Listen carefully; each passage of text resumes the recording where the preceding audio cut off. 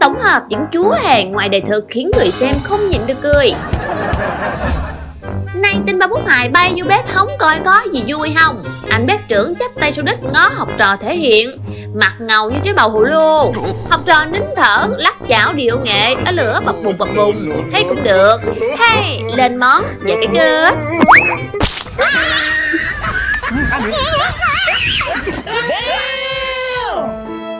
Chảo trứng rớt đất Anh lấy chân hứng mà không có kịp.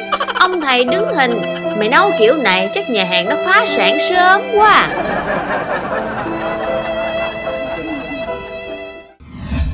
Tiếp theo chị đẹp ẻn ẻn đi ra thì Bà tán cái mặt vô cửa kính Hên cái nón nó độ cho bà nội.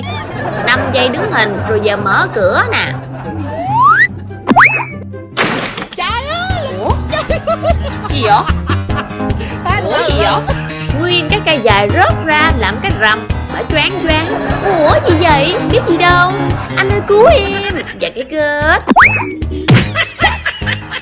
Bà ôm một người yêu té chỏng gọng ra đất. Thôi, đứng dậy anh thương. Hóa đời đen như tóm mực là có thiệt nha mọi người.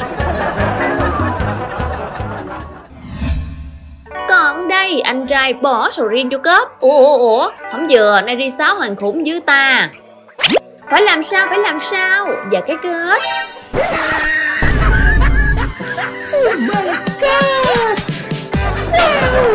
Thánh thần ơi, Ông tháo cái yên xe cặp nách, Đựng cái sầu riêng cấp Lót thêm cái khăn cho nó em Ui nụ anh coi chừng lát về sầu riêng thì còn, Mà cái đít thì lủng quá nha cha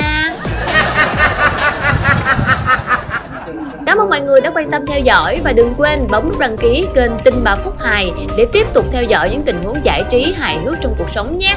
Xin chào!